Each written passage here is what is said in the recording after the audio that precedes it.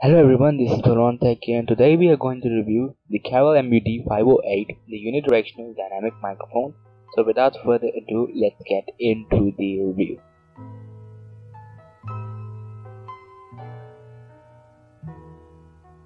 Carol MUD508 is a unidirectional dynamic microphone. I found it in the Chinatown and it costed me under $10. You may or may not be able to find it on online stores. I have dropped some links down in the description for the alternatives to this mic so you can check those links out some of them cost three dollars some of them cost five and some of them more than eight you can check them out